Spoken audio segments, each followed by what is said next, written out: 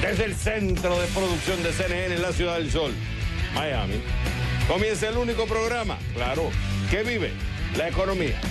Este es CNN Dinero, que arranca en tres, en dos, en uno.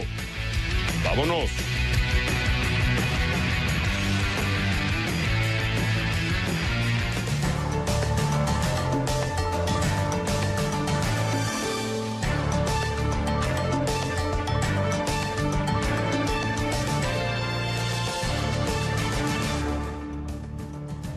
Hola mi gente y bienvenidos a CNN Dinero. Te saluda. David Servia. ¿Lista? ¿Listo? Comenzamos.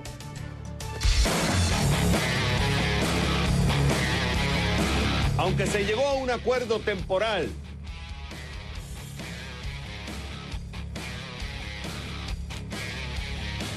Mientras crece la presión para que la comunidad internacional no realice transacciones financieras en oro con el régimen de Maduro, otros alegan que el negocio del oro está cercano al grupo guerrillero ELN. Pregunto, ¿qué se sabe de la relación oro-maduro y ELN? Lo averiguamos. Y para eso me voy a Bogotá con Ariel Ávila. Él es subdirector de la Fundación Paz y Reconciliación, experto en temas de guerrilla, narcotráfico y gobierno. Ariel, es un gusto tenerte en el programa. Mira, voy a citarte varias cosas porque el oro está sonando con mucha más intensidad. No es nuevo, pero viene, viene sonando con mucha más intensidad. Aquí tengo la declaración del Grupo de Lima del 4 de febrero del 2019 y dice, hacen un llamado a los miembros de la comunidad internacional para evitar que el régimen de Maduro realice transacciones financieras y comerciales en el extranjero que tengan acceso a los activos internacionales de Venezuela y que puedan hacer negocios tanto en petróleo, oro u otros activos. Guaidó Cuatro, eh, citando a la agencia F, dice, el ELN tiene operaciones en Venezuela, extrae oro y compra armas. El tiempo en Colombia, la división de investigaciones viene sacando, por ejemplo, el negocio del ELN con la Venezuela de Maduro. ¿Qué es lo que sabemos hasta ahora de la relación entre el oro, Maduro y el ELN? Xavier, buenas noches y muy amable por su invitación. Mira, a hoy sabemos tres grandes cosas. Por un lado, en el famoso arco minero, que es el estado, casi todo el estado de Bolívar, parte de Amazonas y una parte del Delta Macuro, hay en este momento una especie de estado mafioso.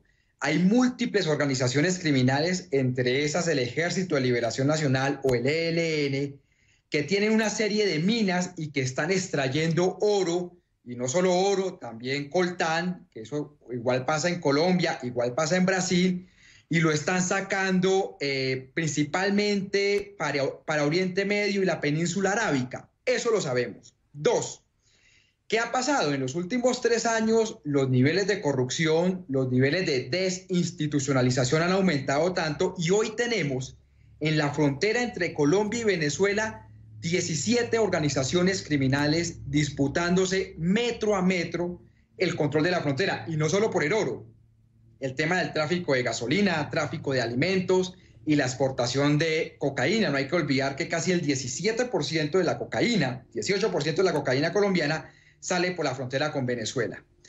Y lo tercero, y tal vez este es el dato importante, es que esa zona de Apure, estado Amazonas, ha sido copada por el ELN en los últimos 14 meses, 13 meses, sobre todo después de que se dio el proceso de paz con las FARC. Eso ha sido copado. Entonces el ELN literalmente opera como un Estado allá, casi es como un paraestado. Regula el tránsito de personas, regula el comercio, controla la explotación de oro, el tráfico de gasolina y, y del lado venezolano no hay ningún control. Ahora, la pregunta es por qué no hay control. ¿Porque no tienen los recursos suficientes para controlarlo o hay una intención de no controlarlo?